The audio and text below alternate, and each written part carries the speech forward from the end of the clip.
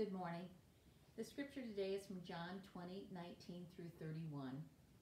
On the evening of that first day of the week, when the disciples were together, with the doors locked for fear of the Jewish leaders, Jesus came and stood among them, and he said, Peace be with you.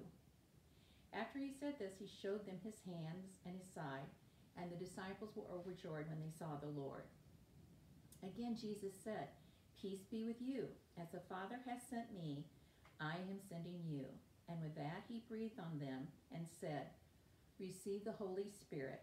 If you forgive anyone's sin, their sins are forgiven. If you do not forgive them, they are not forgiven.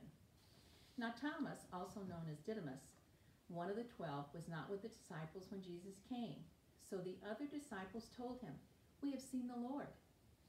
But he said to them, Unless I see the nail marks in his hand, and put my finger where the nails were, and put my hand into his side, I will not believe.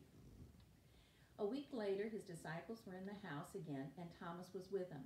And though the doors were locked, Jesus came and stood among them and said, Peace be with you. Then he said to Thomas, Put your finger here, see my hands. Reach out your hand and put it in my side. Stop doubting and believe. Thomas said to him, My Lord and my God. Then Jesus told him, Because you have seen me, you have believed. Blessed are those who have not seen and yet have believed. Jesus performed many other signs in the presence of the disciples, which were not recorded in this book. But these are written that you may believe that Jesus is the Messiah, the Son of God, and that by believing you may have life in his name.